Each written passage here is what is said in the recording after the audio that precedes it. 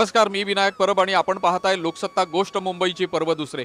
सध्या शारदीय नवरात्र सुरू आहे आणि आपण आत्ता म्हणून आत्ता आलो आहोत ते थेट मुंबादेवीच्या मंदिरामध्ये. असं म्हटलं जातं की मुंबादेवीच्या नावावरूनच मुंबई हे नाव या शहराला या महानगराला प्राप्त झालंय. तर त्या संदर्भातल्या काही महत्त्वाच्या गोष्टी आणि मुंबादेवीचा इतिहास आज आपण या निमित्ताने जाणून घेणार आहोत.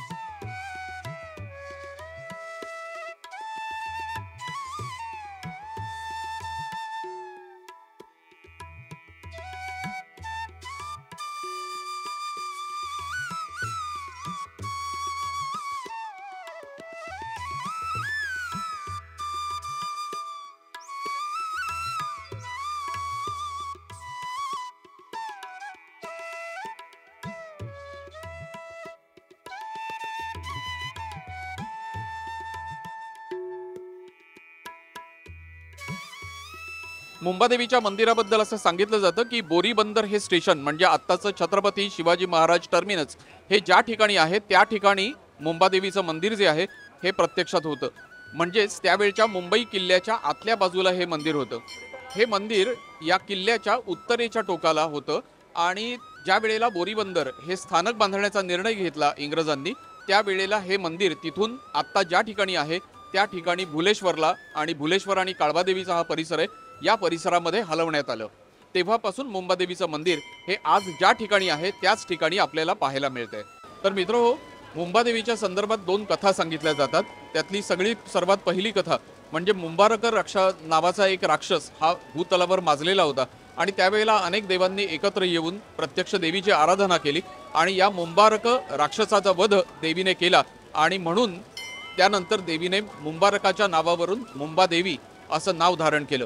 दुसरी कथा अशी सांगितली जाते ही थेट दहाव्या शतकाशी संबंधित आहे की मुबारक शहा हा जो मुस्लिम आक्रमक होता याने मुंबईवर आक्रमण केलं आणि त्या आक्रमणाच्या वेळेला त्यावेळची जी स्थानिक जनता होती त्यांनी मुंबादेवीची आराधना केली आणि मुंबादेवीनी त्याचा वध करण्यासाठी म्हणून प्रत्यक्ष मदत केली आणि त्यावेळपासून हे मुंबादेवी नाव सांगितलं जातं. तर अशा वेगवेगळ्या कथा आपल्याला मुंबादेवीच्या संदर्भात सांगितल्या जातात. प्रत्यक्षात ही जी देवी आहे ही मुंबईची म्हणजे आगरी कोळी जे मुंबईचे मूळ मुंबईकर आहेत त्यांची देवी आहे असं मानलं जातं. तर एकूणच आत्ता या मंदिराच्या संदर्भात आणि देवीच्या संदर्भातील अनेक गोष्टी अनेक बाबी आपण आत्ता समजून घेणार आहोत. आणि त्यासाठी माझ्यासोबत आहेत संजय अशोक रानडेचे जे इकडचे मंदिराचे पुजारी आहेत गुरुजी आहेत. संजयजी लोकसत्ता गोष्ट मुंबईची मध्ये आपलं मनपूर्वक स्वागत. तर आपण पहिला प्रश्न असा आहे की इथे आपल्याला एका बाजूला मुंबादेवी दिसते आणि पलीकडच्या बाजूला आणखीन दोन देवीच्या मूर्ती दिसतात. तर या देवी कोणत्या आहेत? अं, या साईडला जी आत्ता आहे ती मा मुंबादेवी आहे आणि त्या साईडला जी आपल्याला दिसते अं, ती मा जगदंबा आणि मा अन्नपूर्णा अशा तीन देवी आहेत. आणि या तिन्ही मूर्ती अगदी पूर्वीपासूनच्या आहेत? अं, नाही मा मा मुंबादेवीची जी मूर्ती आहे ते स्वयंभू आहे आणि जगदंबा आणि अन्न अन्नपूर्णा हे नंतर अं, जे प्राणप्रतिष्ठा करून ते विराजित केली आहे. पण तेव्हापासून तरी बराच काळ झाला की या मूर्ती या गोष्टीला बराच काळ होऊन गेला तसं आपण म्हणजे नेहमी आम्ही वेगवेगळ्या वेळेला येतो त्यावेळेला असं लक्षात येतं की देवीचं वाहन वेगवेगळं असतं. प- तर हे वाहन बदलणं हे जे आहे हे नियमित आहे का आणि नवरात्रामध्ये पण तसंच केलं जातं का? नाही शारदीय नवरात्र चैत्र नवरात्र अश्व आषाढ नवरात्र आणि माघ नवरात्र हे जे चार नवरात्र होतात त्या चार नवरात्रामध्ये देवीचं जे वाहन आहे हे एकच असतं. आणि इतर जे वार आहेत त्या म्हणजे न- नवरात्र सोडून रोज वाहन बदलत असतं. म्हणजे दररोज वाहन बदललं जातं. हां र- सोमवारी अ, गरुड असतो. अ, तिकडे म्हणजे त्या साईडला नंदी आणि इकडे अ, हे आणि मंगळवारी पण तसंच. मंगळवारी इकडे शेर असतो त्या साईडला तिकडे हत्ती असतो. असं रोज अ, वाहन बदलत असतं त्याची बुधवारी जसं इकडे कोंबडा आहे त्या साईडला तिकडे गरुड असतो वाहन. म्हणजे सात दिवस आणि सात वाहन. म्हणजे सात वाहन असतात. आणि अ, रोजचे देवीचे जे वस्त्र आहेत ती पण वाराप्रमाणे वेगवेगळ्या कलरचे असतात अच्छा म्हणजे देवीचं वस्त्र जे आहे ते पण रंग ठरलेले आहेत त्याचे? ते पण रंग ठरलेले आहेत. जसं सोमवारी पांढरा रंग आहे मंगळवारी लाल आहे बुधवारी हिरवा कलर आहे आज गुरुवार आहे पिवळा कलर शुक्रवारी साधारण एक असा पोपटी कलर वगैरे असा शनिवारी निळा कलर आहे आणि रविवारी पर पुन्हा एकदा लाल कलर असा असे रोज ठरलेले आहेत कलर. आणि देवीचं वस्त्र जे आहे त्याचे रंग देखील ठरलेले आहेत वारानुसार. देवीच्या मूर्तीबद्दल आम्हाला सांगू शकाल का? की आता म्हणजे आपण ज्या वेळेला येतो त्यावेळेला नेहमी फुलं चढवलेली असतात देवीला आणि फुलं वाहिलेली असतात. त्यामुळे मूळ मूर्ती जी आहे तिचं अनेकदा दर्शन होत नाही. तर ही मूळ मूर्ती ही काळ्या पाषाणाचीच आहे. पण काय आहे ती नेमकी मूर्ती? कशी आहे? म्हणजे बसलेल्या अवस्थेतील आहे उभ्या अवस्थेतील आहे? अवस्थेत आहे ती. उभ्या अवस्थेत पाषाण स्वरूप आहे ती मूर्ती. अच्छा. आणि साधारणपणे देवीची पूजा अर्चा जी आहे त्याचा दिनक्रम कसा असतो? म्हणजे सकाळी वेगळी पूजा असते दुपारी वेगळी असते संध्याकाळी वेगळी असते. शेजारतीपर्यंत असं सगळं चालू असतं. तर देवीचा हा जो क्रम आहे पूजेचा त्याबद्दल आपण आम्हाला सांगाल. नवरात्राच्या कालावधीमध्ये मंदिर उघडण्याची वेळ वेगळी असते. साडेपाचला सकाळी आरती होते पहिली. त्यानंतर साडेनऊला मुख्य आरती होते. नंतर दुपारी परत साडे अकरा वाजता नैवेद्याची आरती होते. आणि या कालावधीमध्ये नुसता फलाहार नैवेद्याला असतो दूध आणि फलाहार. त्यानंतर पुन्हा साडेसहा वाजता धूप आरती होते. म्हणजे या कालावधीमध्ये देवीची पुन्हा सजावट करून मग तिची धूप आरती करतात. नंतर आठ वाजता मुख्य आरती होते आणि सव्वा दहा वाजता शयन आरती करून साडेदहाला साधारण मंदिर बंद करतात नवरात्राच्या कालावधीमध्ये. आणि इतर कालावधीत जर तुम्ही आलात मंदिराच्या दर्शनाला तर सकाळी साडेसहाला मंदिर दर्शनासाठी खुलं करण्यात येतं. साडेसहा ते रात्री नऊपर्यंत साडेसहा ते नऊ पर्यंत मंदिर फुलं आणि असतं. आता नवरात्रामध्ये सकाळी साडेपाच ते रात्री साडेदहा. अशी वेळ आहे. आणि आम्हाला असं कळलं की एक वेगळ्या प्रकारची पूजा पण आहे ती मंदिरामध्ये केली जाते. तर त्या पूजेबद्दलही आपण आम्हाला सांगाल. अ, या कालावधीमध्ये अ, मा मुंबादेवीच्या श्रीयंत्राची राजोपचार पूजा होते. ते वरती आपल्या मंदिराचा हॉल आहे. त्या हॉलमध्ये तिथे गुरुजी बसून अ, या नवरात्राच्या कालावधीमध्ये एक अ, मंदिराचे गुरुजी नऊ दिवस व्रत करतात. म्हणजे काही प्रकार अ, खात नाहीत ते. फक्त अ, फळं आणि पाणी. त्याच्यावरती असतात ते नऊ दिवस. आणि त्यांच्या हस्ते ती राजोपचार पूजा होते. आणि या कालावधीमध्ये साधारण एकोत्तर वृद्धी शतपाठ असे चारशे पन्नास पाठ बाहेरील ब्राह्मणाला आमंत्रित करून मा मुंबादेवीच्या चरणी अर्पण करतात. आणि त्याची सांगता म्हणून या मंदिराच्या बाहेरच्या प्रांगणामध्ये त्याचं हवन पूर्ण होती. असा नवमीच्या दिवशी असा कार्यक्रम होतो रोजचा. अच्छा. म्हणजे असा पूर्ण एक नवरात्राचा कार्यक्रम असतो देवीच्या संदर्भातला. संजयजी खूप खूप धन्यवाद. आपण लोकसत्ताच्या वाचकांना या संदर्भातली माहिती दिलीत त्याबद्दल. आणि आता आपण राजोपचार पूजा पाहायला जाऊयात. तर आत्ता आपण आलोय ते मुंबादेवी मंदिराच्या पहिल्या मजल्यावर जिथे देवीच्या श्रीयंत्राची राजोपचार पूजा केली जाते. या राजोपचार पूजेला अनन्य साधारण असं महत्त्व आहे आणि नवरात्रामध्ये सलग नऊ दिवस ही पूजा केली जाते. याही संदर्भातली माहिती आता आपण जाणून घेणार आहोत. चला तर. आपल्यासोबत आहेत आत्ता मंदिराचे पुजारी संदीप शर्मा आणि ते आपल्याला माहिती देणार आहेत देवीच्या श्रीयंताच्या पूजेबद्दल ज्याला राजोपचार पूजा असं म्हटलं जातं. तर ही राजोपचार पूजा कशा पद्धतीने केली जाते? संदीपजी. नमो देवे महादेवे शिवाय सततम नमः नमः भगदे भद्रा निहिता प्रणतास्मदाम आद्य श्री मुंबा देवी संपूर्ण मुंबई की ग्राम देवी और कुल देवी के रूप में प्रसिद्ध है। श्री मुंबा ऐसा माना गया है कि जैसे ललिता माँ त्रिपुर सुंदरी एक कच्छप के ऊपर विराजित रहती है, वैसे ही इस मुंबई रूपी कच्छप के ऊपर माँ मुम्मा देवी सवार है। इस मुंबई की सभी प्रकार की प्राकृतिक आपदाओं से माँ मुम्मा देवी रक्षा करती आई है। आगे भी माँ मुम्मा देवी हमेशा इस मुंबई की रक्षा करती रहेगी। हमारे मुम्मा देवी विश्वस्त निधि के द्वारा कई सालों से यहाँ पर एकोत्तर वृद्धि चंडी अनुष्ठान किया जाता है।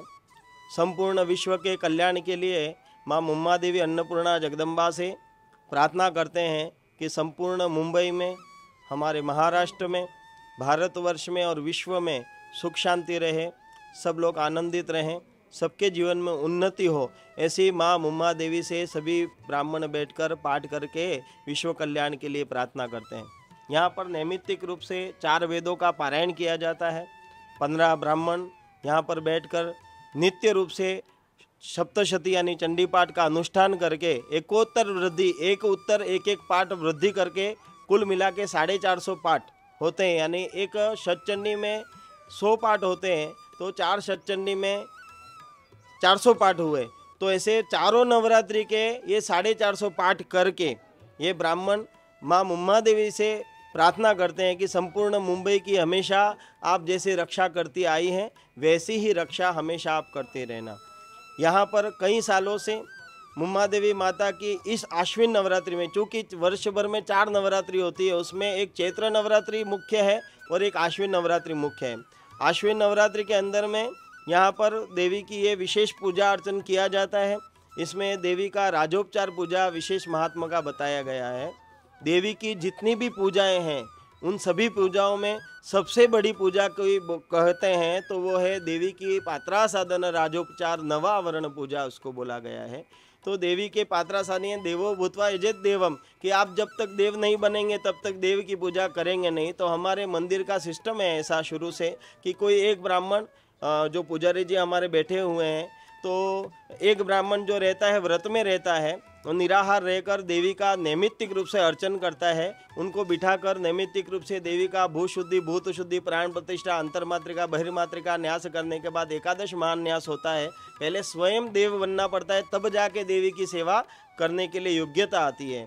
क्योंकि ये साल भर का मुख्य नवरात्रि है। नवा नवानाम रात्रिनाम समूह इति नवरात्रि, ये पूजा नवरात्रि में ही क्यों होती है विशेष करके? मुम्मा देवी में तो ऐसा बताया गया है कि जब ऋतु परिवर्तन होता है तो ऋतु परिवर्तन में नाना प्रकार के छोटी मोटी आदि व्याधि मनुष्य को जीव जंतुओं को, हम लोगों को परेशान करती हैं। और विशेषकर जब जब ऋतु परिवर्तन होता है, तभी छोटे मोटे रोग लगते हैं मनुष्य जीवन को। तो ये देवी आराधन में हम देवी की आराधन करके शक्ति को जागृत करते हैं और शक्ति से प्रार्थना करते हैं कि आपकी कृपा से ये जितने भी रोग इत्यादि रहे, उन सबका निवारण हो। और मनुष्य लोग सुख शांति से रहें ऐसी हमारी प्रार्थना रहती है। वाचकों वाचको हे खूप महत्त्वाचं आहे. आत्ता संदीपजींनी जे आपल्याला सांगितलं ते ज्या वेळेला ऋतू बदल होत असतो आणि त्याच्या मधला कालखंड असतो त्यावेळेला त्याला प्रावृट ऋतू असं म्हणतात. म्हणजे एक ऋतू संपत असतो आणि दुसरा ऋतू सुरू असतो. तर हा जो प्रावृट ऋतू आहे आयुर्वेदानं असं सांगितलंय की या प्रावृट ऋतूमध्येच सर्वात जास्त जीवजंतू आत्ता जे संदीपजींनी आपल्याला सांगितलं तेच सर्वात जास्त जीवजंतू हे या प्रावृट ऋतूमध्ये येत असतात. आणि नेमकं शारदीय नवरात्र जे आहे ते देखील याच कालखंडात येत असतं. संदीपजी आम्हाला फक्त असं सांगा की हे श्रीयंत्र जे आहे याचं महत्त्व काय आणि राजोपचार राजोपचाराचं महत्त्व काय आहे? ऐसा एक किवदंती है। ऐसा ये नहीं बताया लेकिन आपको मैं एक छोटा दो तीन भाग बता देता हूँ। पहले तो ऐसा बोलते हैं कि मुम्मा देवी माता जो है रावण के मामा जो मारिच जो थे उनकी कुल देवी के रूप में प्रसिद्ध है। वेदों में जिन्हें भूमि माता के रूप में पूजा गया है। और ये जो देवी है तो कहीं पर मैंने सुना था मैंने कहीं ऐसा परफेक्टली आप नहीं बोल सकता लेकिन एक मैंने सुना है कि हिडन श्री यंत्र is always with Mumba Devi. This area is one of the richest area of all this world because a hidden श्रीयंत्र always with Devi आ, हेही आणखीन खूप महत्त्वाचं आहे. आपण ज्या परिसरामध्ये आहोत हा भुलेश्वर काळबादेवीचा परिसर आहे झवेरी बाजाराचा परिसर आहे जिथे सोन्या चांदीचे मुंबईतले सर्व व्यवहार होतात. तो अ, मुम्मा देवी मंदिर में आदि गुरु कांची का- कामकोटी पीठ के हमारे गुरुजी श्री जयेंद्र सरस्वती जी ने अपने हाथ से वहाँ पर उद्यान पीठ से पूजा करके लाया हुआ श्री यंत्र यहाँ पर विराजित है। एक सुवर्ण का श्रीयंत्र है, जिसके ऊपर शंकराचार्य द्वारा जो दीक्षित ब्राह्मण है, पंचदशी और पूर्णाभिषेक किए हुए ब्राह्मण ही उसका पूजा करते हैं। वो श्रीयंत्र गर्भगृह से बाहर आता नहीं है और जहाँ श्री है, क्योंकि ये श्री विद्या एक ऐसा विद्या है जिसमें भोगम च मुक्तम योगम च, के इस विद्या का जप और नाम स्मरण करने से भोग भी मिलता है और योग भी मिलता है। यानी मनुष्य की जो जो इच्छाएँ सामान्य मनुष्य की होती हैं वो श्रीयंत्र की पूजा करने से वो इच्छाएँ पूरी होती हैं। इसीलिए ज़्यादातर लोग श्रीयंत्र की पूजा करते हैं क्योंकि इससे भोग भी प्राप्त होता है और योग भी प्राप्त होता है। इसलिए श्रीयंत्र का इतना महत्व बताया गया है। आ, संदीपजी आ, खूप खूप धन्यवाद। आपण ही माहिती दिली त्याबद्दल. एक सगळ्यात महत्त्वाचं म्हणजे श्री हे देवीचं वेगळं नाव आहे आणि श्री हे लक्ष्मीचं देखील दुसरं रूप आणि दुसरं नाव मानलं जातं. तर मुंबादेवीच्या या मंदिरामध्ये आपल्याला प्रत्यक्ष दोन गाभारे पाहायला मिळतात. त्यातल्या एक एका गाभाऱ्यामध्ये मुंबादेवी बसलेली आहे आणि हा जो दुसरा गाभारा आहे याच्यामध्ये आपण पाहताय की एका बाजूला जगदंबेची मूर्ती आहे दुसऱ्या बाजूला अन्नपूर्णेची मूर्ती आहे आणि मागच्या बाजूला जो एक छोटा कोनाडा दिसतोय तिथे सुवर्णरत्न जडीत असं श्रीयंत्र आहे ज्याची पूजा दररोज केली जाते. तर मित्र हो यावेळच्या शारदीय नवरात्राच्या निमित्ताने प्रत्यक्ष मुंबादेवी मंदिरामध्ये येऊन आपण मुंबादेवीशी संबंधित वेगवेगळ्या गोष्टी तिचा इतिहास हा आपण समजून घेतला. देवीची पूजा अर्चा नेमकी कशा पद्धतीने केली जाते तेही आपण पाहिलं. शारदीय नवरात्रामध्ये केली जाणारी राजोपचार पूजा ही देखील आपण अनुभवली. गोष्ट मुंबईचीचे यापूर्वीचे सगळे भाग अशाच अनेक रंजक रोचक आणि माहितीपूर्ण गोष्टीसाठी अवश्य पहा. फक्त पाहू नका तर लोकसत्ता लाईव्ह सबस्क्राईब करा आणि लाईक आणि शेअर करायला देखील विसरू नका. आपल्या सगळ्यांना नवरात्रीच्या खूप खूप शुभेच्छा.